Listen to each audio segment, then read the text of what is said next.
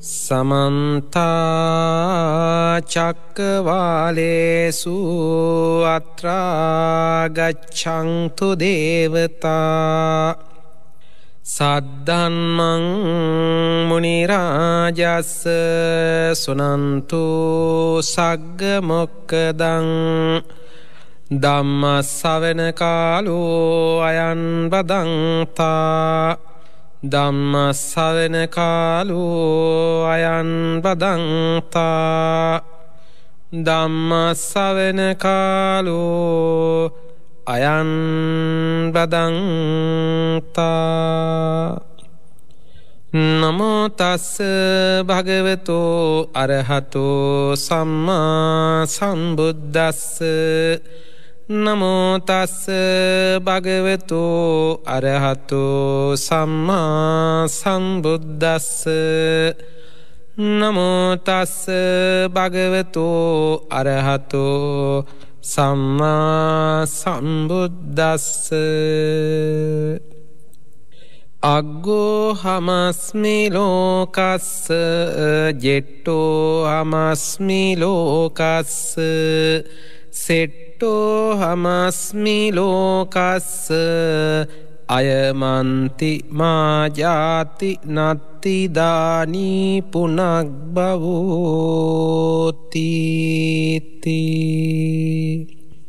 සඳහම් අසනු කැමැති කාරුණික වාසනාවන්ත පින්වත්නි. මේ පින්වත් පිරිස අදත් සුපුරුදු පරිදි හිරු FM ඉරිදා සඳහම් උදෑසන තුළින් වටිනා බණපදයක් අහන වෙලාව. ඉතිං අද දවසේ මේ වටිනා දහම් දේශනාව සඳහා මා හිතුවා මේ වෙසක්පුර පසොලොස්වක් පොහොයත් ළඟ ළඟම එන නිසා මේ වෙසක්පුර පසොලොස්වක් පොහොයේ වැදගත්කමත් මුල් කරගෙන අපේ බුද්ධ චරිතය හා සම්බන්ධ ඒ වගේම ජාතික ආගමික වසයෙන් වටිනා කරුණු කිහිපයකුත් ඇතුළත් කරමින් මේ වටිනා දහම් දේශනාව සිද්ධ කරන්නට. පින්වත්නි මේ වෙසක් පෝය අපට වැදගත් වෙන්නේ ඇයිද කියලා ප්‍රශ්නය ඇහුවොත් එහෙම අපි දන්නවා ඕනම දහම් පාසල් යන පාසල් යන දරුවෙක් උත්තර දෙනවා ලෝතුරා බුදුරජාණන් වහන්සේගේ තෙමගුල සිදුවනේ වෙසක් පුර පසොලොස්සක පොහොය නිසා අපට වෙසක් පොහොය වැදගත් කියලා. ඒ වගේම තමයි තවත් විශේෂ සිදුවීමක් තියෙනවා ඉතිහාසේ අපි කතා කරන ඓතිහාසික සිදුවීමක් මේ ලංකාවේ අපි ඉතිහාසය ගැන කතා කරනකොට විජය රජ්ජුරුවෝ අපි කියන්නේ සිංහලයාගේ ආරම්භය හැටියට සලකන විජය රජ්ජුරුවන්ගේ පැමිණීම සිදු වුණෙත් වෙසක් පුර පසොලොස්සක පොහොය දවසක. මෙන්න මේ කාරණා කීපයක් තවත් ඉතින් සිද්ධි ගොඩාක් අපට හොයල හොයල කියන්න පුළුවන්. ප්‍රධාන වසයෙන් ඔය කාරණා කිහිපය අපට සඳහන් කරන්නට පුළුවන්කම තිබෙනවා. එතකොට මේ වෙසක්පුර පසොලොස්සක් පොහොය අපට බෞද්ධයෝ හැටියට වගේම ජාතියක් හැටියට ලාංකිකයන් හැටියට මේ පෝය අගේ කරන්න පුළුවන් අපට මොකද අර මංකිව වගේ ජාතික වස්සයෙන් අපි ලාංකිකයන් වස්සයෙන් අපට අගේ කරන්න පුළුවන් දවසක්. එතකොට වෙසක් පෝය කියන්නේ අපට අවුරුද්දේ සාමාන්‍යයෙන් ප්‍රධාන පෝය දොළහක් තියෙනවා. මේ ප්‍රධාන පෝය දොළහා හැරෙනකොට තවත් ඉති මාසකට සාමාන්‍යයෙන් පෝය හතරක් එනවා. අපි කියන සතර පෝය කියලා. මේ සතර පෝයක් එනවා ප්‍රධාන පෝයවල් දොළහක් එනවා ඒ හැම්ම පෝයකටම වඩා ලෝකවාසී ලංකා විතරක් නෙමෙයි ලෝකෙම බෞද්ධයෝ ඉතාමත් උත්කර්ශවත් අන්දමින් සමරණ පෝය තමයි වෙසක් පුර පසොලොස්සක් පොහොය කියල කියන්නේ. ඒකට හේතුව අපේ බුදුරජාණන් වහන්සේගේ විශේෂයෙන් තෙමගුල සිහිපත් කිරීම. බුදුරජාණන් වහන්සේගේ උපත ගැන කතා කළොත් එහෙම ඒකත් මහා ආශ්චර්ය අබ්භූත දෙයක්. අපි කියන්නේ පුදුම හිතන දෙයක්. සමහර දේවල් තියෙනවා මේ ලෝකෙ අදත් හරි පුදුමයි. හිතා ගණ්ඩ බෑ.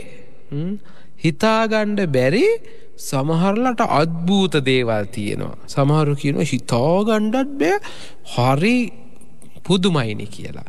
ඒවගේම අපේ සූත්‍ර දේශනාවක් තියෙනවා ආශ්චර්යමත් සිද්ධි අච්චරිය අබ්භූත සූත්‍රය කියලා. එක පාලියෙන් කියනවා අච්චරිය අබ්භූත සූත්‍රය ආශ්චර්යමත් අත්භූත දේවල් සිද්ධිවිච්ච ඒව තමයි සිහිපත් කරලා තියෙන්නේ. මේ සූත්‍ර දේශනාවත් අපේ මේ සිදුහත් කුමාරයාගේ උපත බුදුවීම පිරුණුවන් පෑම මේව ගැන සඳහන් වෙනවා.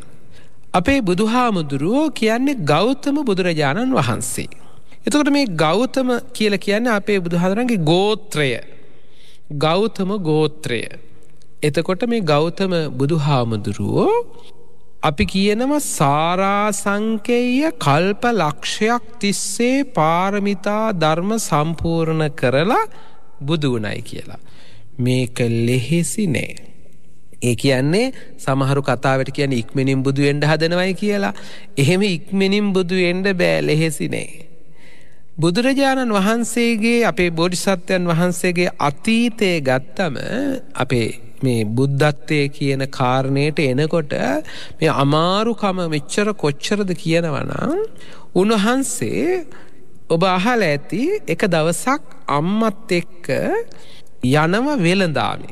වෙළඳාම යනවා අම්මයි කට්ටිය නැගලා මහා මුහොදේ වෙළඳාම යනකොට හදිසියේ ඒ කලෙ රුවල් නැව්වල යන්නේ මේ යන අතරේ නැව මුහුදුබත් වෙනවා.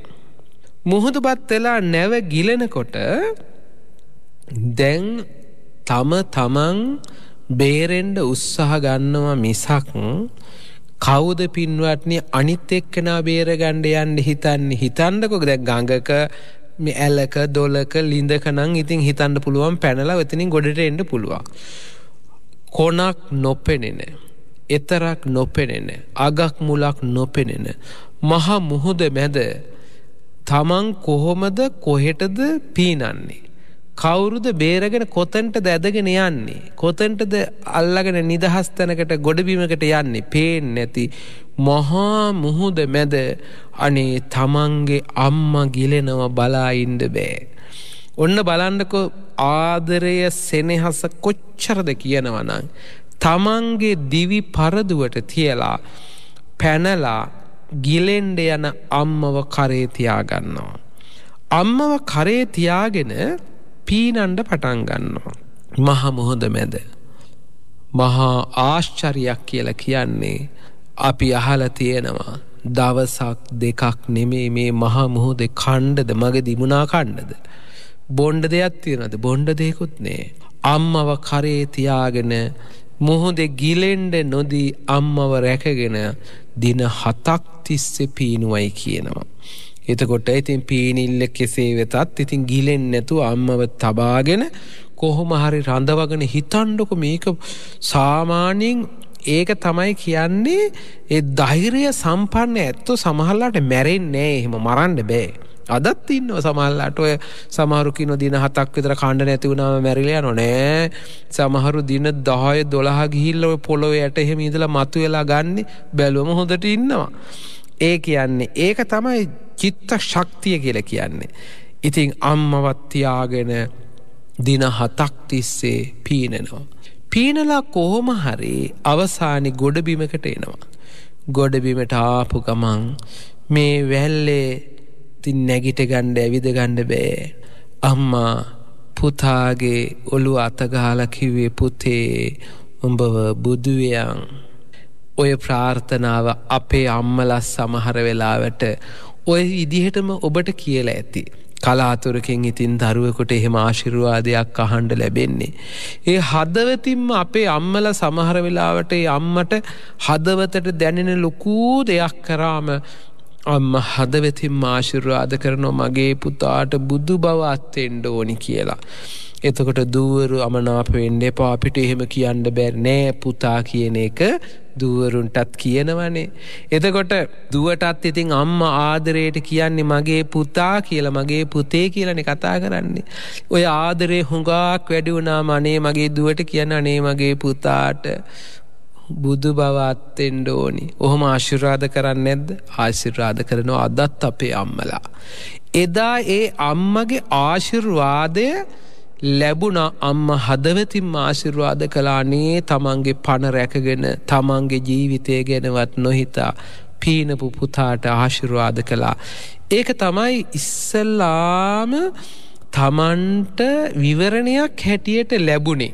එකන බුද්ධ බව ලබන්ඩ කියල හරි අදහසක් හරි හිතට දුන්නේ තමන්ගේ ආදරණීය අම්මා.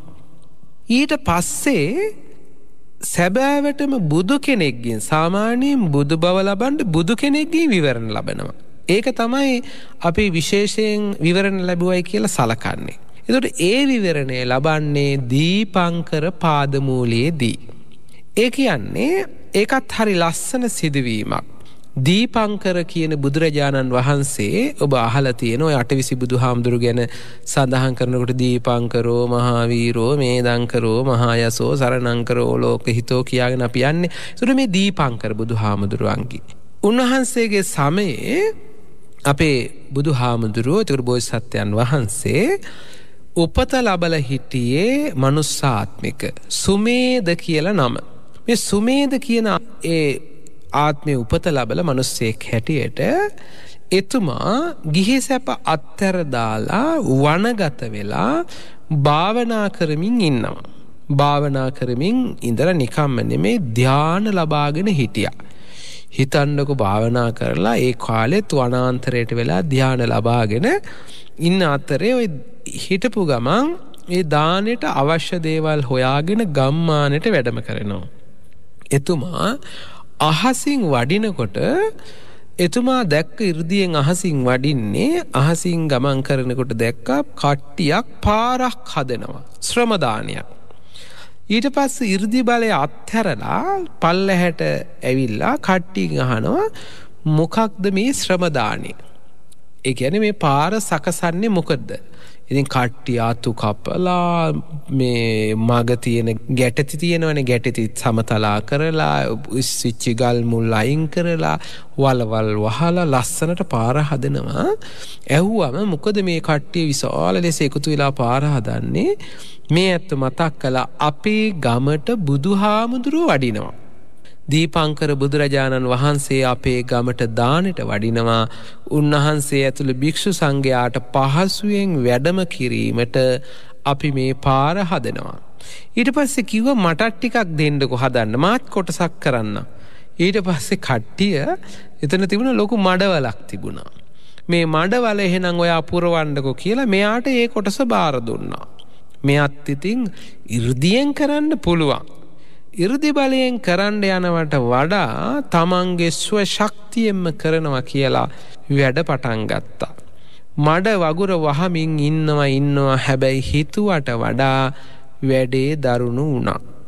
වැඩේ කරගෙන යනකොට වැඩ නිම කරගණ්ඩ බැරි වුණා තවත් කොටසක් මඩ තියෙනවා. දැම් ඒ අතරේ බුදුරජාණන් වහන්සේ භික්‍ෂු සංඝයා පිරිවරාගෙන වැඩම කරනවා. දැම් මොකද කරන්නේ. දැම් මෙයා කල්පනා කරනවා බුදු හාමුදුරුවන්ට මඩගොඩ උඩින් වඩින්න කියලා කියන්න බෑනේ මඩට බහින්ඩ එහෙම කියන්නත් බෑ. මේ පාර හදනකං බුදු හාමුදුරනේ පොඩ්ඩක් ඉන්න කියලා කියන්නත් බෑ.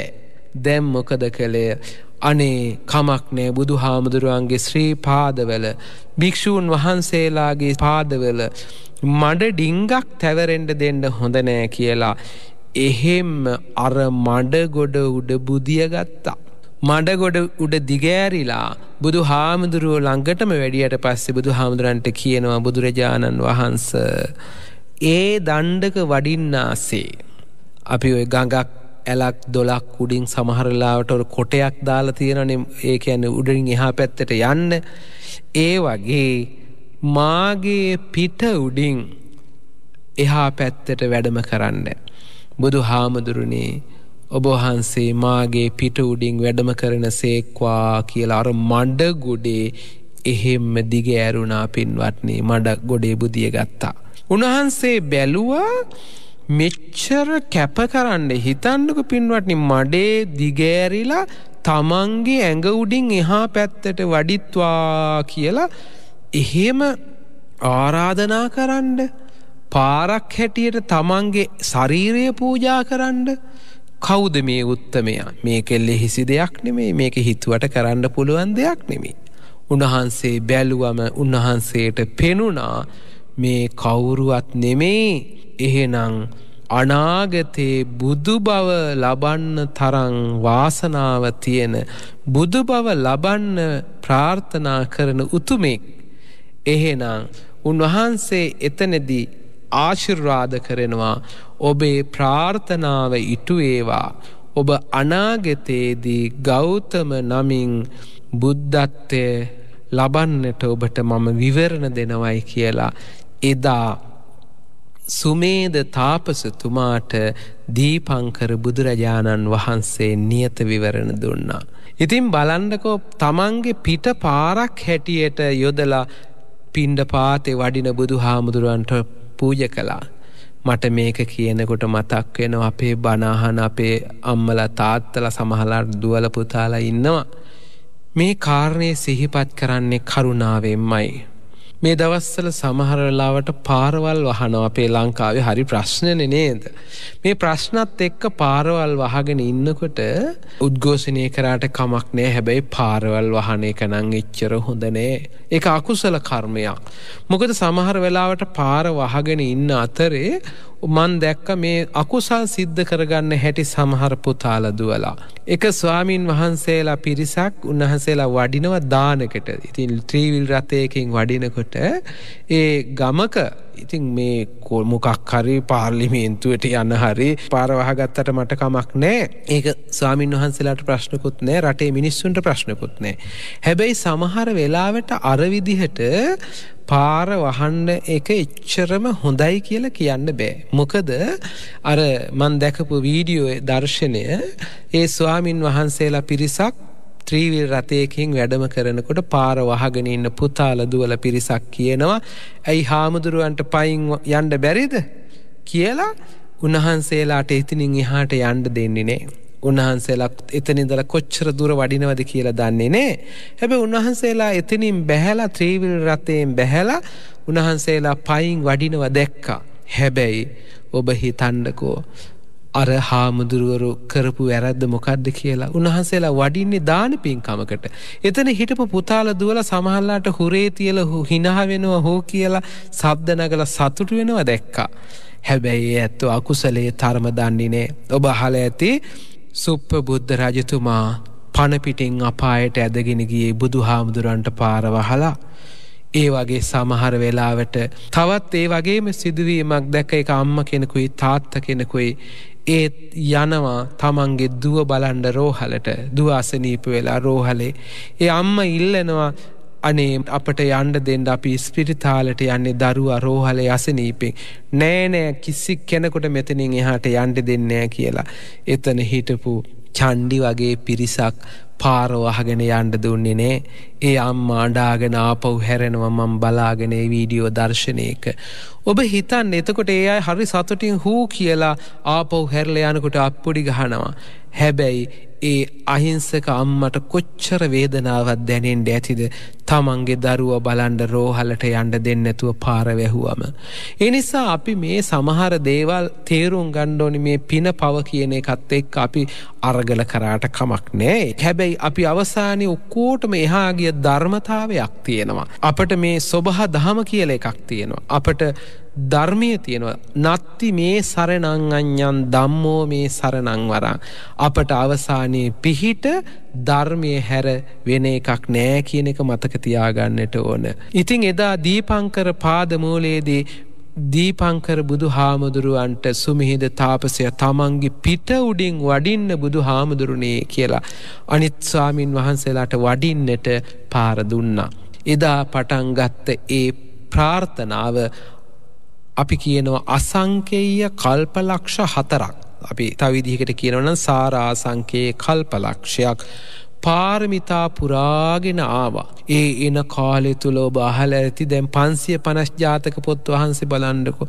ඒ අතර කාලය තුළ සමහලට වඳුර වුණා බල්ල වුණා මුවෝ වුණා හරක් වුණා කුරුල්ල වුණා එක එක ආත්ම මලුස්සාත්මල එක එක ආත්මවල ඉපෙදමින් මැරමින් ඇවිල් ඇවිල්ල උණහන්සේ අවසානයේදී මනුස්සාත්මේ වෙස්සන්තර රජතුමා හැටියට උපත ලබනවා. වෙස්සන්තර රජතුමා හැටියට උපත ලබලා තමන්ගේ සියලු වස්තුව දන් දුන්නා. අපි දන්නවා බුදු වෙනකොට පාරමිතා තිහක් සම්පූර්ණ කරන්න ඕනි. දස පාරමිතා දස උපපාරමිතා දස පරමත්ත පාරමිතා කියන පාරමිතා ධර්ම තිහක් සම්පූර්ණ කරන්නට ඕන. එතකොට තිහක් වූ පාරමිතා ධර්මයන් සම්පූර්ණ කරමින් සසර ඇවිල්ලා උණහන්සේ දෙව්ලොව අවසානය උපත ලැබුවා. දෙව්ලොව ඉන්න කාලේ දැන් එතුමාට සිදුහත් බෝධිසත්වයන් වහන්සේට ආරාධනාවක් කරනවා කාලෝයන්තේ මහාවීර උපජ්ජි මාතුකුච්චයන්. එතකොට මේ මවකුසක උපදින්ඩ කාලයයි කියලා ආරාධනාවක් ලැබෙනවා. එතකොට උන්වහන්සේ මේ මනුස්ස ලෝකයේ පිළිබඳව පංච මහා විලෝකන නැත්තං අපි කියන පස් මහා බැලුම් බැලුවයි කියලා. මොනවද මේ පස්මහා බැලුම් කියල කියන්නේ කාලය දීපය දේශය කුලය මව කියන කාරණා පිළිබඳ විමසලා බැලුවා. එතොට කාලය කියල කියන්නේ මොකක්ද සුදුසු කාලයක උපත ලබන්නට ඕනේ. ඇයි සුදුසු කාලයක් බැලුවේ ඇයි පින්වත්නි බණ කියන්ඩ නං බණ අහන්ඩ මිනිස්සුන්ට මානසික සුවේ තියෙන්ඩ ඕනි. අද හිතන්ඩකො අද මේ වෙසක්පුර පසොලොස්සක පොහොය කිට්ටු වෙලා ඉන්න මේ යුගේ අද ලංකාවේ අපේ ඇත්තන්ට බණහාල ධර්මය අවබෝධ කරගන්න හොඳ මානසික සුවයක් තියෙනවද කියලා නෑ. රටේ ආර්ථික ප්‍රශ්න සාමාජික දේශපාලිනික මේ ප්‍රශ්නත් එක්ක මිනිස්සුන්ගේ හිත් විකෘති වෙලා තියෙන්නේ. එතකොට ඒ වගේ එදත් බුදුහාමුදුර උපදින් ඩිස්සල්ලා මහා නරක කාලයක් නම් යුද්ධ තියෙන කාලයක් නම් වසංගත විශාල වසංගත තියෙන කාලයක් නම් එතකොට රටේ ඒවාගේ මිනිස්සුන්ගේ මනස අවුල්ලෙච්ච මිනිස්සුන්ට ධර්මය ගැන හිතන්ඩ බැරි කණ්ඩ නැති දුක්කිත කාලක බණ කියහන්ඩ ගියා මිනිසුන්ට බණ නෙමේ අංක එකට හිතෙන්නේ බඩනේ ඒක නාමකෙන් සබ්බේ සත්තා හරට්ටිතිකා. පලවෙනි එක තමයි කෑම. මිනිස්සුන්ට නොකහ නොබී ධර්මය ගැන හිතන්ඩ වෙලාවක් නෑ අද ඇත්තටම ඔය ප්‍රශ්නය තමයි වෙලා තියෙන. එතකොට මේ ධර්මය පිළිපදින්ට නම් ධර්මය හැසිරෙන්ඩන මානසික සුවය ඕනි ඒකට ඉතින් කණ්ඩාඳන්න හොඳට තියෙනකොට ධර්මයට නැඹුරුවීමේ පහසුව තියෙනවා. එතකොට සුදුසු කාලයක් වෙන්ඩ ඕනි. එහෙමනම් කාලය ගැන බැලුවා. ඊළකට දීපය දීපයකිව මොන දීපයද එන ජම්බුද්දීපය තෝරා ගත්තා. ඊළඟට කාලයේ දීපය දේශේ මොන ප්‍රදේශේද. ඒකත් දේශයක් තෝරගත්ත. එතකොට කිඹුල්ලත් පුර එතකොට සුදුසු ප්‍රදේශයක් තෝරා ගත්ත කාලේ දීපේ දේශය ඉලට කුලය කුලේකුත් හෙව්වා. එතුට බුදුරජාණන් වහන්සේ කුල බේදයට විරුද්ධව ධර්මදේශනා කළා. එහෙනම් කුලබේදයට විරුද්ධව ධර්මදේශනා කරපු බුදු හාමුදුරුව ඇයි මේ බුදු බව ලබන්ඩ ලෝකෙ පහළ වෙන්ඩිස්සල කුලයක් ගෙන හෙව්වි ඔබ හිතන්න බුදු හාමුදුරුව කුලයක් ගැන හොයන් නැත්තුව බුදුවෙන්ඩ මොනවහරි කුලේක ඉපදුන අපිහිතමකෝ එදා සම්මත ප්‍රධාන කුල හතරක් තිබුණා බ්‍රාහ්මණ ශස්ත්‍රීය වෛශ්‍ය ශුද්‍ර කියලා.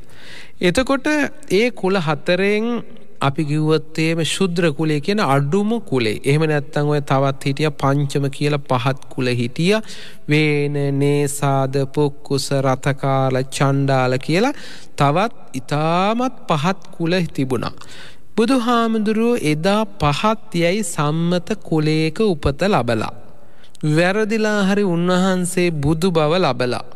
අපි නිකංවට හිතමකු අඩු කුලේ යැයි සම්මත කුලේක උපත ලබලා උන්වහන්සේ ධර්ම දේශනා කරන්න ගියානං කුලබේදයට විරුද්ධව කට්ටිය මොකද කියන්නේ. අඩු කොලේ උපදිලා එනවා මෙතන බණ කියන්න. මිනිස්සු පෞසිද්ධ කරගන්න ඇද්ද පෞසිද්ධ කරගන්නවා. එතකොට එදා බුදුරජාණන් වහන්සේට මිනිස්සු ගෞරව කරනකොට මොකද කිවේ බුදු හාමුදුරු නිකං කෙනෙක් නෙමේ රජ පෙළපතේ උසස් කුලේක කෙනෙක්. එතකොට උසස් කුලේක ඉපදිලා කුලබේදයට විරුද්ධ කතා කරනකොට මිනිස්සු නිශ්ශද්දයි. ඇයි එතකොට ඇයි උසස් කුලේකෙන පිදිලා තියෙන ඒ නිසා කුලේ ගැන බලන්ඩ මෝනි. එතකොට බලන්ඩකො කාලය දීපේ දේශය කුලය. ඊළඟට මව මව ගැනත් බැලුවා.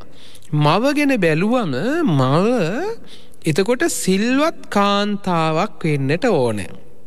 එතකොට අම්ම ගැන බැලුවා. එතකොට දැන් සමහර අපේ ඔය පුතාල දුවල අද එකක දේවල් පිළිබඳ ප්‍රශ්න කරනවා.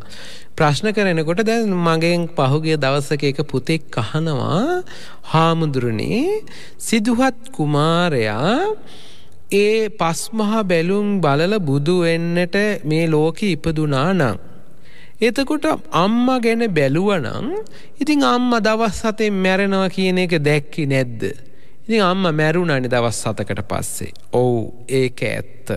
බුදු හාමුදුරුවෝ දැන දැනමයි ඒක ඒ විදිහට උපත ලැබුවේ. ඒකට හේතුව පින්වත්නි අපේ බණපොතේ සඳහන් වෙනවා ඔය ප්‍රශ්නය අද විතරන්න මේ දත්වක ඇතිවෙලා තියෙනවා. එතකොට බුදුරජාණන් වහන්සේ දේශනා කරන ඇයි එහෙම වෙන්න ඒක නියාම ධර්මයක්. ඒක සාමාන්‍ය ලෝක එකන බුදු කෙනෙක්ග සමහර දේවල් තියෙන ඒව නියමයන් තියෙනවා. නියමයන් කියලා කියන්නේ දැන් බුදු කෙනෙක් පිළිසිඳ ගත් කුසක තවත් දරුවෙක් කවදාවත් පිළිසිඳ ගන්නේ නෑ. ඒ කියන්නේ ඒ අම්මට වෙනත් දරුවෙක් ලැබෙන්නේ නෑ. එතකොට පළවෙනි දරුවත් ඒ දරුවමයි එක නියාමයක්. එතකොට අවසාන දරුවත් ඒ දරුවමයි. ඊළඟට තවත් හරි ලස්සන කතාවක් තියෙනවා ඒ කතාව කාන්තාව ඉතාමත් සුරූපී ලස්සන කාන්තාවක්. හැබැයි ඒ කාන්තාව කෙරෙහි කිසි පිරිමියකුට එකැන රජතුමා හැර කැනෙ ස්වාමියා හැර කෙනකුට කාම සිතුවිල්ලක් ඇතිවෙන්නේ නෑ කියනවා. ඒකත් හරි පුදුම දෙයක්නේ. දැන් අදත් සමහර ලස්සන කාන්තාව ඉන්නවා. ඔබ හිතන්න සමහර ඒ කාන්තාව දිහා බැලුවම ඒ කාන්තාව හරි සිරියාවන්තයි. හැබැයි කට්ටිය බැලුව මේ කාන්තාව කෙරෙහි ආදරයක් ගෞරවයක් ඇති වෙනවා. ඒ රූපයත් එක්ක ලස්සනත් එක් ඇය කෙරේ ආදරයක් ගෞරවයක් ඇති වෙනවා. හැබැයි කාමයක් ඇතිවෙන්නේ නෑ. දැ සමහර ඉන්නේ දැන් ඔය කාමුක නිලියෝ කියලහෙම ඉන්නේ නේද සමහර සරාගී නිලිය. ඒ ඇත්ත දැක්ක ගමම්ම සමහරුන්ට රාගයක් ඇති වෙනවා. සමහර සුරූපී නිලියෝ කියලත් ඉන්නවා නිලියෝ විතරක් නෙමේ අපි සමාජයේ කාන්තාවෝ සමහරට ලස්සනයි අනිත් අයගේ ආදරේ කරුණාව හිමි වෙන ආදරය කියන්නේ එකක්ම රාගය කියන්නේ තව එකක්. එතකොට රටවැසියන්ගේ ආදරය හිමි වෙනවා හැබැයි රාගයට ලක්වෙන්නේ නෑ. එතකොට ඒකත් විශේෂ දෙයක්. එතකොට එදා සිදුහත් කුමාරයා ලෙසින් අපි කියන නමක් නෑ නෙතකොට දරුවෙක් ලෙසි මව්කුස ඇසලපුර පසොලොස්වක පොහොය දවස්සක පිළිසිඳ ගන්නවා. ඒ පිළිසිඳගෙන දරුව ලැබෙන්ඩ ඔන්න මෙන්න කියලා ඉන්න අතරේ අපේ සිදුහත් කුමාරයා එතකොට මවකුස ඉන්න මාමායා දේවිය එදා සම්ප්‍රදායක් තිබුණා සාමානයෙන් දරුවෙක් ලැබෙන්ඩ ඉන්නකොට අම්ම තාත්තගේ ගෙදරට යනවා. අද සමහල්ලාට ඔය අම්ම ඇවිල්ල සමහලාට ගෙදර පදිංචි වෙනවා දුවට උදව් කරන්න නේද ද මේ වගේ දේවල් අදත් තියෙනවන පින්වටන ඒ දරුවෙක් ලැබෙන්ඩ ඉන්නකොට ඒ අම්ම උදව් කරනවා ඉතින් ඒ වගේ දේවල් එදා සම්ප්‍රදාය තමයි අම්මගේ ගෙදරට යනවා. ඒ අම්මගේ ගෙදරට ඉතාම විචිත්‍රවත් පෙරහැරකින් යන අතරේ තමන්ගේ දෙමවපියන් ළඟට යන අතරේ මගද තිබුණා ලුම්බිනි කියලා ලස්සන සල්ලු යනක්. ඉතින් මේ ලස්සන සල් උයන කුරුල්ලන්ගේ මිහිරි රාවේ සමනෙල්ලු පිරිච්චි ලස්සන මල් පිපුණු මේ සල් උයන දැක්කම මාමායා දේවියට හිතනවා පොඩ්ඩක් නතර වෙලා උයනෙ සිරි නරඹලා යන්නට. ඒ අනුව ඇය ඒ දෝලාවෙන් ඉතින් උස්සගෙන යන්නේ කාලේ. ඇය එතන නතර වෙලා කියනව පොඩ්ඩක් නතර වෙලා අපි යමු. ඉතින් කාන්තාව පරිවාර කාන්තාවන් පිරිවරාගෙන යන ඇය සල්ගස් අතර ඇවිදින අතරේ ඇයට විලිරුදාවක් ඇති වෙනවා. ඒ වෙලාවේ මේක දැනුන් දුන්නම ඉතින් වටතිර ඇදලා ඇයට දරුව ලැබෙන්නට අවස්ථාව උදා කරලා දෙනවා. ඒ අවස්ථාවේදී ඒ ලුම්බිනි සල්ලුයෙනදී සිදුහත් කුමාරයාව උපත ලබනවා. උපත ලබලා දැන් ඒ අවස්ථාවේදී දැන් අපි අහලා තියෙන මේ මං කිව්වේ එක ඉස්සෙල්ලා කිව්වර අච්චරිය අබ්බූත දේවල් සිදු වෙනවා. ආශ්චර්යමත් හිතාගන්න බැරි දේවල් වෙනවා. දැන් ඒ වෙලාවේ සිදුහත් කුමාරයා ඉපිදිලා පියවර හතක් ගමන් කරනවා. දැන් ඉපදිච්ච ගමන් අපේ ළමයි ඇවිදින්නේ නෑනේ හාමුදුරුවනේ. අපේ ළමයිට කතා කරන්න බෑනේ. මේ නිකන් අපේ මේ ඔය ළමයි වගේ නෙමේනේ. අර සාරාසංකේය කල්පලක්ෂයක් පෙරුම් පුරාගෙන ඇවිල්ලා ඒ බුද්ධුවෙන්ඩ උපං ආත්මය කියන්න එතකොට මේක නිකං දරුවෙක් නෙමේ පින්වන්ත දරුවෙක්. එතකොට මේ දරුවා ඉපදිලා පියවර හතක් ගමන් කරනවා ගමන් කරනකොට පා තියෙනකොට පොළවෙන් නෙළුම් මලක් මතු වෙනවා. ඒ පියවරෙන් පියවර නෙළුම් මල් හතක් මතු වුණා. හතක් මතු වුණාම ඒ හත්තෙනි පියවරේ ඉඳලා හත්තන නෙළුම් මල උඩ ඉඳලා ගාතාවක් කිව්වා. මොකක්ද කිව්වේ? අග්ගෝ හමස්මි ලෝකස්ස ජෙට්ටෝ හමස්මි ලෝකස්ස සෙට්ටෝ හමස්මි ලෝකස්ස අයමන්ති මා ජාති නත්ති දානී පුනබ්බවෝ එතකොට දැන් මේ ගාථාව දේශනා කරනවා. මේක පොඩි දරුවා කිව්වා මොකක්ද කිව්වේ? අග්ගෝ හමස්මි ලෝකස්ස. මම ලොවට අග්‍ර වෙමි. මම ලොවට ජේෂ්ඨ වෙමි. මම ලොවට ශ්‍රේෂ්ඨ වෙමි. මේ මාගේ අවසන් උපතයි කියලා අභීත සීහනාදයක් කළා. ඉතින් දැන් මේ වාගේ අසාමාන්‍ය දේවල් අදත් ලෝකෙ වෙනවා. ඔය පහුගිය කාලේ වෙලා තිබුණා. ඒත් ඔය ප්‍රංශේ කියන රටේ ඔබ අහලා තියෙන ප්‍රංශේ කියන රටේ ඒ දරුවෙක් ඉපදිච්ච වෙලාවේ සාමාන්‍යයෙන් අද වුණත් අපේ ලංකාවේ වුණත් දරුවෙක් ඉපදුනාම ඒ උපන් වේලාව සටහන් කරගන්නවා. ඉතින් ඔර්ලෝසුවක් බිත්තියේ ගහලා තියෙනවා. ඒ දරුවෙක් ඉපදිච්ච වෙලාවේ ඒ වෛද්‍යවරයා එතන ඉන්න එක්කෙනකින් අහනවා වේලාව කීයද කියලා. වේලාව කීයද කියලා අහනකොට අර ඉපදිච්ච ගමන් දරුවා වෙලාව කියල තියෙනවා ඔර්ලොස්සුව තියා බල්ලා ඒ දරුව වෙලාව කියල ඉතින් කට්ටිය ඔක්කෝ පුදුම වෙලා ඉපිදිච්චි ගමන් ළමයි කතා කරන්න පුළුවන්ද අදත් ඔයවාගේ දේවල් අහඹු දේවල් විශේෂ දේවල් අදත් ලෝකෙ වෙනවා. ඉතින් එතකොට එදා සිදුහත් කුමාරයා ඉපිදෙලා පියවර හතක් ගමන් කරලා කුමාරයා අර විදිහට ශ්‍රේෂ්ඨ ප්‍රකාශයක් කළා. ඊට පස්සේ දැන් අර යන්ඩ ගිය ගමන නවත්තලා ආපහු පෙරහැරෙන් තමන්ගේ රජමාලිගාවට පැමිණියා. එතකොට ඒ උදාර දවස ඒ සිදුහත් කුමාරයාගේ උපත සිද වුණේ අද අපි මේ සිහිපත් කරන මේ මාසය අපි හෙට අනිද්ද සමරන වෙසක්පුර පසොලොස්සක් පොහොය දවසක කියලා අපට සතුටින් ප්‍රකාශ කරන්නට අභිමානයෙන් සිහිපත් කරන්නට පුළුවන්කම තිබෙනවා. ඒ වගේම තමයි පින්වත්නි එහෙම උපත ලබපු මේ දරුවා පුද පෙරහැරින් එක්කරගෙන යනවා රජමාලිගාවට. රජමාලිගාවට එක්කරගෙන ගිහිල්ලා ඊට පස්සේ මේ දරුවා කොච්චර වාසනාවන්තද කියනවා නම් මේ දරුවා ඒ නිසා මුළු රටටම බවබෝග සම්පත් ලැබුණයි කියනවා සස්ත්‍රීක වුණයි කියනවා. අද සමහර වෙලාවට සමහර දරුවෝ ඉන්නවා හරී වාසනාවන්තයි. ඔය අම්මලා තාත්තලාම කියන අපට ඔය දරුව ලැබෙන්ඩ ඉන්නකොට තමයි ඉතින් අපට හරිගියේ සමහර පවුල් වලට පුද්දුම තරං ඒ සෞභාග්‍ය උදාවෙන වාසනාවන්ත පින්වන්ත දරුවෙක් ලැබෙන්ඩ ඉන්නකොට. ඉතින් සමහර වෙලාට ඕකේ අනිත් පැත්තත් වෙනවා. සමහර දරුවෝ ලැබෙන්න ඉන්නකොට පවුලම විනාශ වෙනවා සමහරලාට අනේ ඊට පස්සේ අම්මත් දුක් විඳිනවා. ඉපදිච්ච දරුවත් එදා ඉඳලා ලෙඩ සමහරලාට මුළු පවූලටම සමහලට ඒ දරුවගේ අවාසනාවන්ත තත්ත්වය මුළු පවුලකට බලපානවා.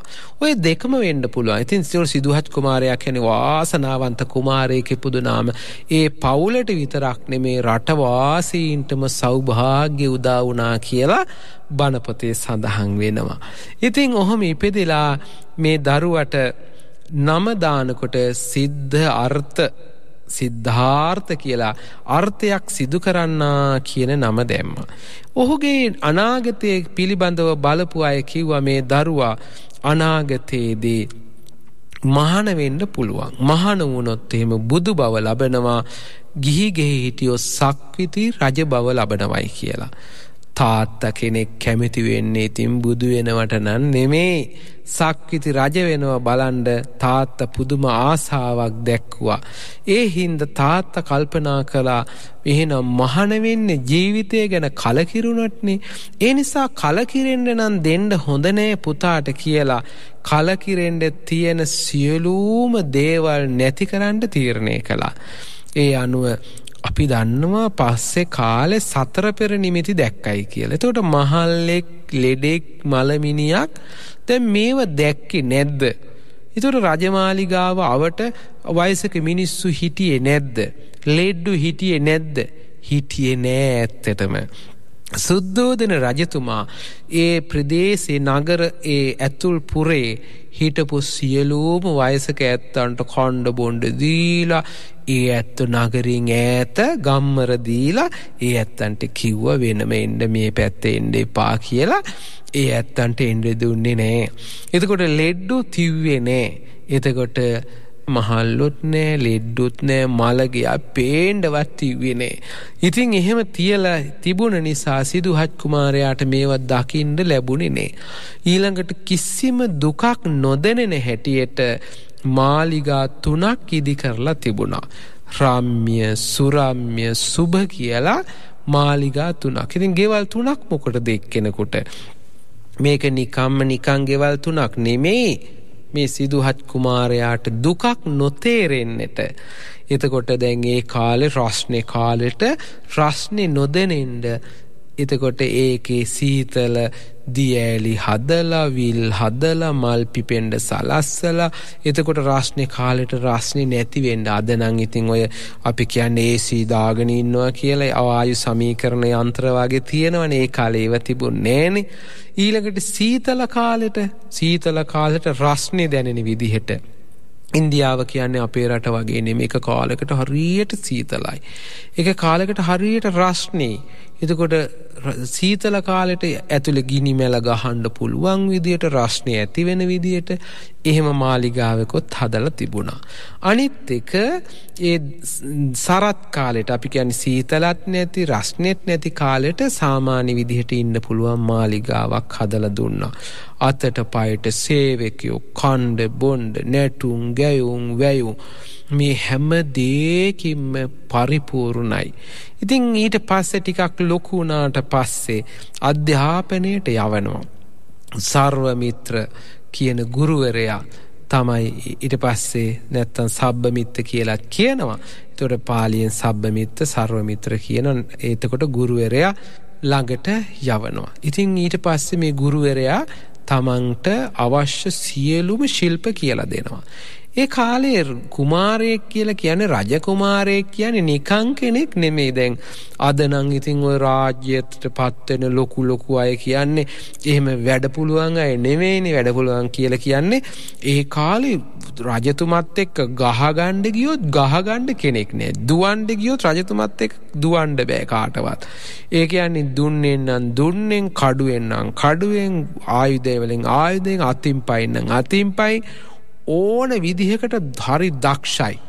එතකොට අස්්‍යයා පිටේ යන්ඩ එතකොට අස්්‍යයා පිටේ ඉදල යුද්ධ කරන්න දැන් මොනහරි යුද්ධයක් එම තිබුණ රජතුමා ඉස්සරහට එනවා ඉතින් පිරිවර ඇරගෙන ඒ කාලේ එහෙම හරි ශක්ති සම්පන්නයි. එතකොට ශාස්ත්‍රා අතිනුත් එතුමා හරි දක්ෂයි. එතකොට රජතුමාට ඒ කාලෙත් උපදේශකයෝ හිටිය. හැබැයි උපදේශකයෝ හිටිය කියලා උපදේශකයෝ ඊටත් වඩා කියන්නේ ඇගෙන් නෙමේ සමහර මොලේ දක්ෂයෝ ඉන්නනි බ්‍රාහ්මණයෝ හෙම ඉඳලා තියෙනවා. එතකොට උපදේශක කියන ඇත්තෝ තියාගන්නන හොඳට දැනුම තියෙන ඇත්තෝ. අද සමල්ලාට උපදේශක හැටියට පත් කරගන්න තමන්ට උදව්කරපු ඇත්තෝනේ එතුට උපදෙස් දෙන්නේ සමල්ලාට ඒ මෝඩ උපදෙස් සම්පයනවා. ඒ කාල එහෙම නෙවේ හොඳ දක්ෂ උපදේශකය පත් කරගෙන හිටිය. එතුට රජතුමා කාය බලයෙන් යුද බලයෙන් හැම දේකින්ම දක්ෂයෙක්. තොට ගුරුවරයා එ සියලු දේවල් ඉගැන්නවා. ඉගෙන ගත්ත සිදුහත් කුමාරයා. ඒ කාලේ හැටියට අවුරුදු දාසේදී විවාහ වෙනවා. එතට විවාහ වෙනකොට අවුරුදු දාසේදී විවාහයට පත්වෙන්නට සියලු කටයුතු සූදානම් කළා. හැබැයි රජවරු තමන්ගේ දුවක් සිදුහත් කුමාරයාට විවාහ කරලා දෙන්නට කැමති වුණේ නෑ. ඇයි?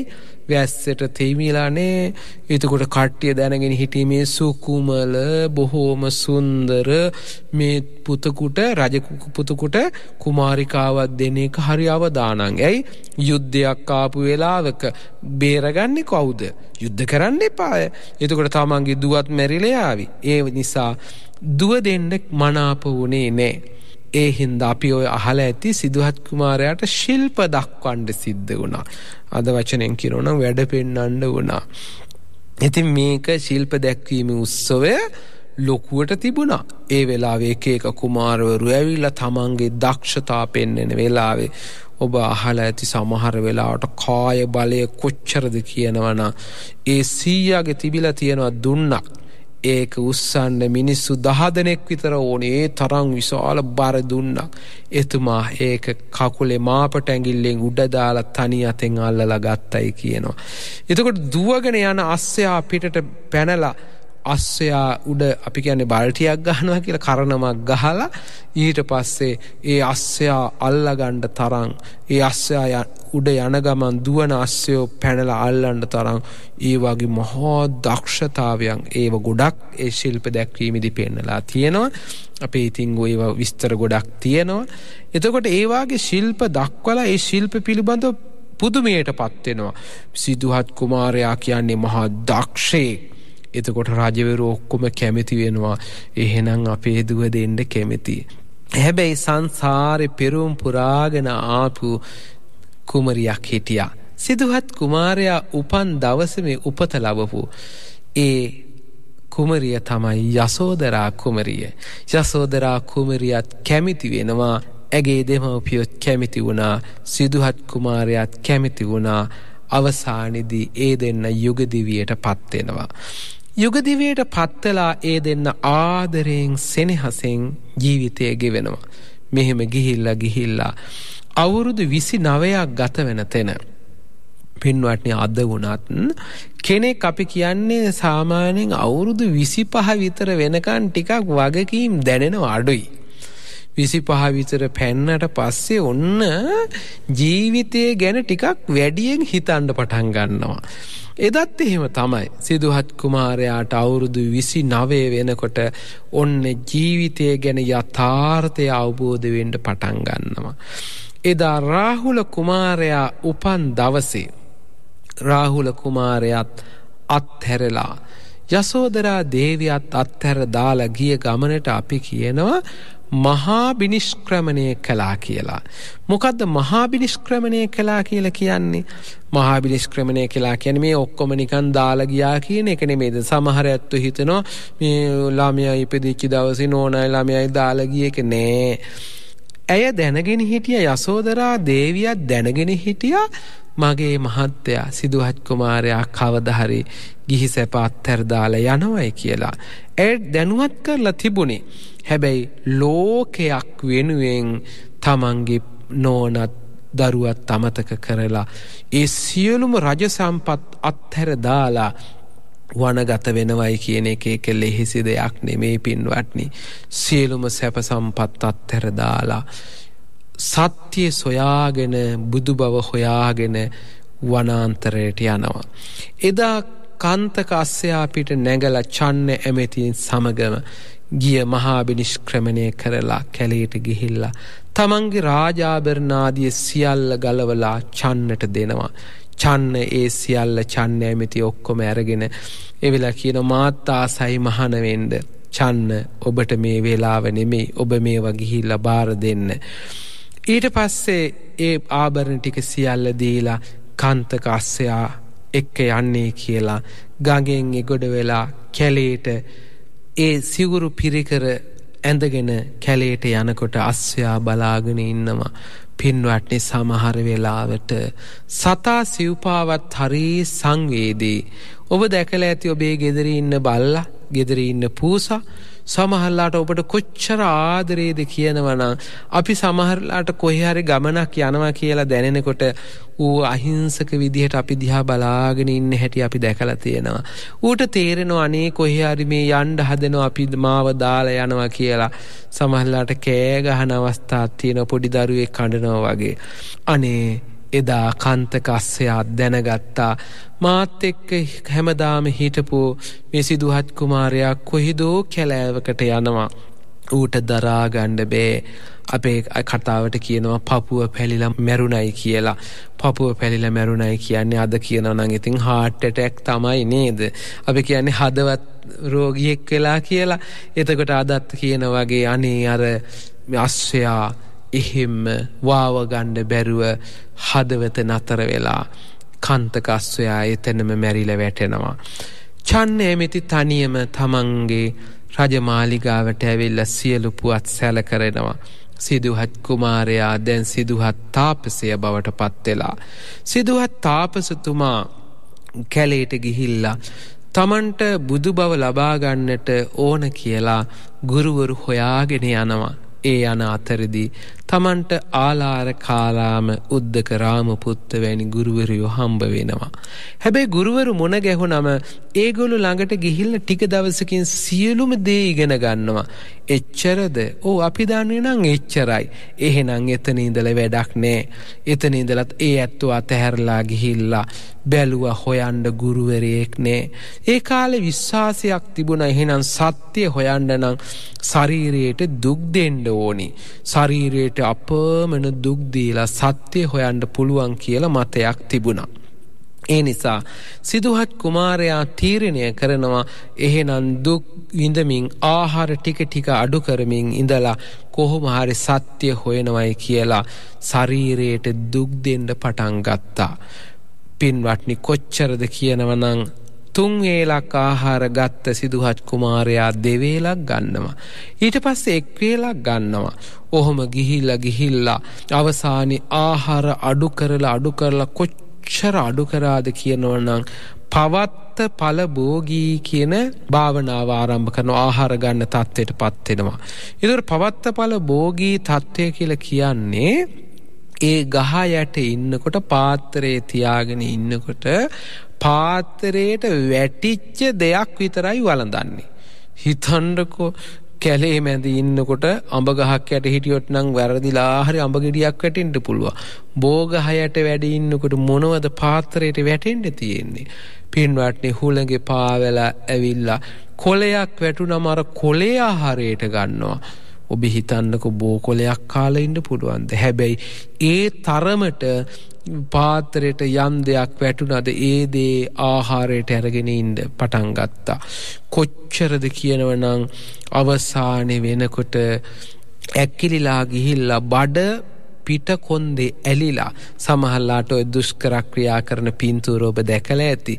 ඒ තරමටම දුර්වල වුණා අවසානය නැගිට ගණ්ඩ බෑ කලන්තෙ දාල බිම වැටෙනවා. දෙවියෝ පවා රැවටුනයි කියලා සඳහන් වෙනවා සිදුහත් කුමාරයා මැරුණයි කියලා. ඉතින් මෙහෙම ඉන්න අතරෙ කොහොම හරි උන්වහන්සේටම තේරෙනවා මීට වඩානම් මේ ලෝකෙ කිස්සි කෙනකොට දුකක් විඳින්න බෑ. මීට වඩා තවත් ගියොත් මැරෙනවා හැර සත්‍යය සොයන්න බෑ. එහෙනම් ආහාර ගණ්ඩෝනි කියලා හිතලා ආහාර ගැනීම ආරම්භ කරනවා. ආහාර ගැනීම ආරම්භ කරලා ආහාර ගණ්ඩ පටන් ගන්නකොට උදව්වට හිටපු පස්සග භික්‍ෂූන් වහන්සේලාත් පංචවක්ගේ බික්කු පස්සග භික්‍ෂූන් වහන්සේලාත් උන්වහන්සේ හැරදාල යනවා. අවසානයේ උන්වහන්සේ කොහොම හරි දුෂ්ක්‍රක්‍රියාවෙන් මිදිලා ආර්ය අෂ්ඨාංගික මාර්ගය.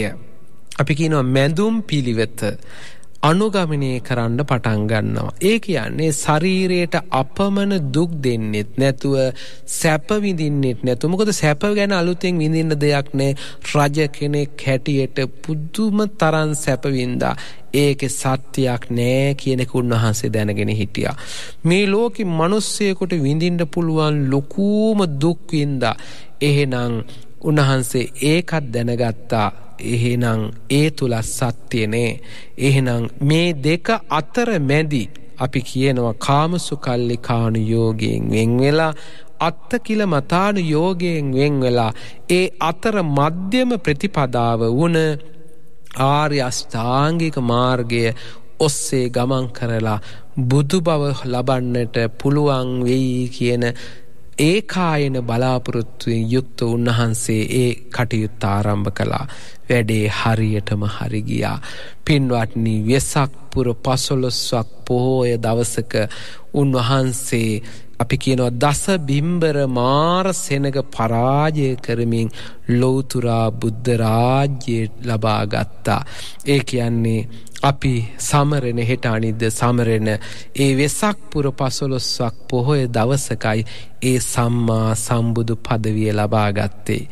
ඉතින් ඒ අනුවත් වෙසක් පෝය අපට වැදගත් වෙනවා.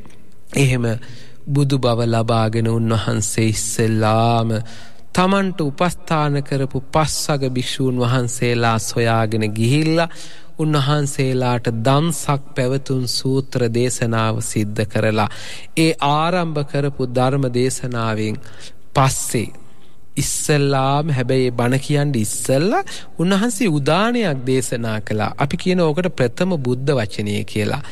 අනේක ජාති සංසාරං සන්දාවිස්සං අනිබ්බිසං. ගහකාරකං ගවේ සන්තෝ දුක්කා ජාති පුනප්පුනං. ගහකාරක දිට්ටෝසී පුනගේ හන්නකා හසේ. සබ්බාතේ පාසුකා බග්ගා ගහකූටං විසංකිතං. විසංකාර ගතංචිත්තන් තන්නානං කය මජ්්‍යගා කියල උන්වහන්සේ උදානයක් දේශනා කළා සතුට ප්‍රකාශ කළා. මම සංසාරය මේ ගේ හදන වඩුව හොයාගණ්ඩ බැරුව නොයෙක් ජාතිවල සැරිසැරුවා. හැබැයි මංගේ හදන වඩුව හොයාගත්තා. දැන් ආයෙත් ගෙවල් හදන්ඩ හම්බුවෙන් නෑ කියලා උන්වහන්සේ කැනි මඩලම සිඳල දැම්ම කියලා සතුටින් දේශනා කළා. ඒකට කියනව ප්‍රථම බුද්ධ වචනය කියලා.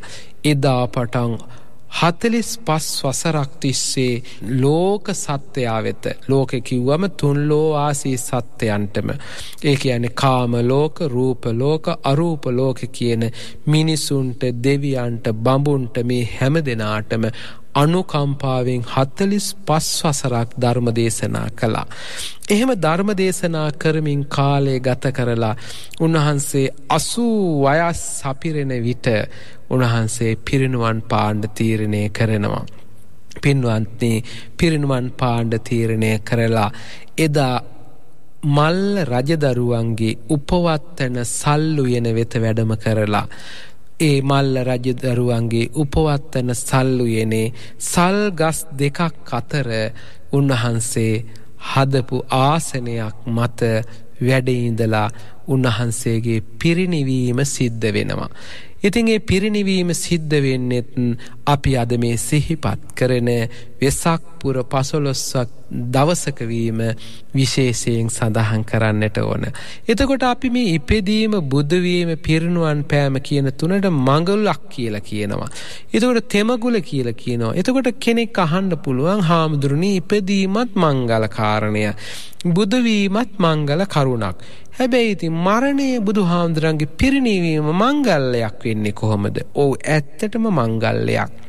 ඒක දුකක් කනගාටුවක් තමයි හැබැයි උන්වහන්සේගේ මරණය අපේ මරණය වගේ දුක්ඛිත එකක් නෙමෙයි. ඇයි අපේ මරණය ඇයි අපිට දුක. අපි ආයෙත් උපදිනවා. හැබැයි බුදු හාමුදුරුවන්ගේ පිරිනිවීම කියන්නේ ආයෙත් උපතක් නෙවෙයි. ඒක කෙලවරක්. ඒ හින්දා ඒකත් මංගල්‍යයක්ම හැටියට අපි සඳහන් කරනවා. ඒ නිසා තමයි තෙමගුල කියලා පරිනිර්වාණයත් මංගල්ලයක් හැටියට අපට සලකණ්ඩ පුළුවන් ආයෙත් උපතක් නැතුව පිරිනිවීම සිද්ධ වෙච්ච නිසා. ඒ අපි කතා කළේ අපේ බුදු හාමුදුරන්ගේ පැත්තෙන් අනි පැත්තෙන් ගත්තම ඔබ අහල ඇති මේ ලංකාවේ රාජ පරම්පරාවේ ආරම්භය ගැන කතා කරනකොට පණ්ඩුකාබේ රජතුමා ගැන කතා කරන ඊට පස්සේ අපි කතා කරන්නේ බුදු හාමුදුරුවෝ එදා පිරිනුවන් පාපු දවසෙස් තවත් විශේෂ සිදුවීමක් වෙනවා. ඉන්දියාවේ විජය කුමාරය ඇතුළු හස්සීයක පිරිසක්.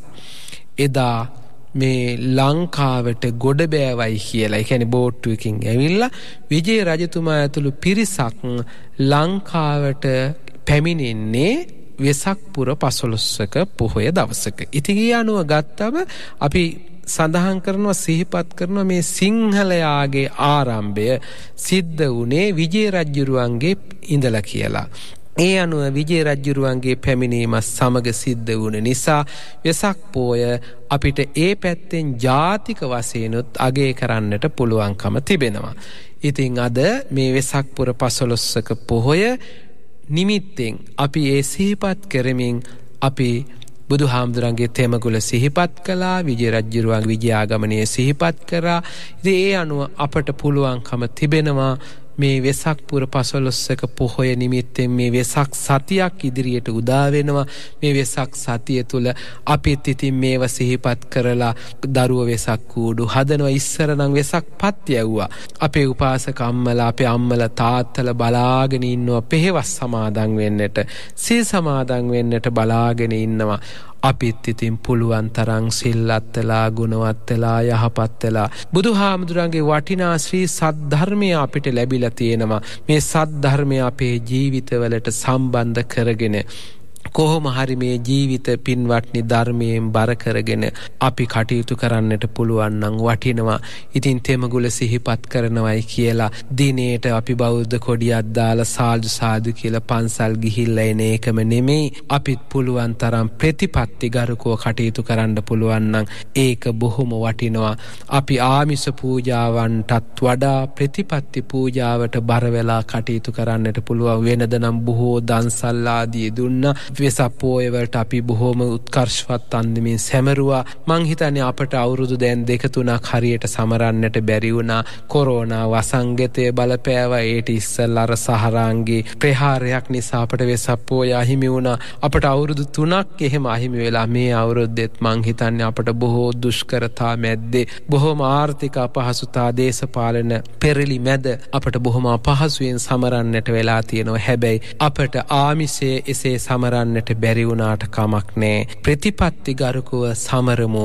තුනුරුවන්ට ලැදිව කටයුතු කරලා අපි හැම කෙනෙක්ගම පරමාර්ථය කොහොම හරි මේ සසර කතරින් එතර වෙන්නන ඒ යන ගමනට මේ ධර්ම දේශනාවත් උපකාරයක් වේවා කියන උතුම් පරමාර්ථය ඇති කර ගනිමු. ඉතිං අද මේ වටිනා දහම් දේශනාව ඔබට ශ්‍රවණය කරන්නට අසන්නට මහගු අවස්ථාව උදා කරලා දුන්නා. හිරු එෆ්ම් ඉරිදා සඳහම් මුදෑසන තුළින් ඉතින් බණ ඇහුව. අප පින් රැස් කරගත්තා ලබාගත්තා වූ පින් අපි දෙවියන්ට අනුමෝදන් කරමු මේ පින් අනුමෝදන් වූ දෙවියෝ අපි ආරක්ෂා කරත්වා දෙවියනුත් අමාමහ නිවෙනින් සැනසේවා කියල ප්‍රාර්ථනා කරමු. එවගේම පින්වත්නී වර්ග පරම්පරාවේ මියගියාව සියලු ඥාතීන්ටත් මේ පින් අත්තේවා ඔවුනුත් අමාමහනිවෙනින් සැනසේවා කියල ප්‍රාර්ථනා කරමු. ඒවාගේම බනෑසු ඔබටත් අපේ ආදරණී දෙමවපී දූදරු සහෝදර සහෝදරයන් හැම දෙනාටම මේ පින් අත්තේවා නිවනින් සැනසෙන්නට මේ ධර්ම දේශනාවත් උපකාරයක් වේවා කියල ප්‍රාර්ථනා කරමු.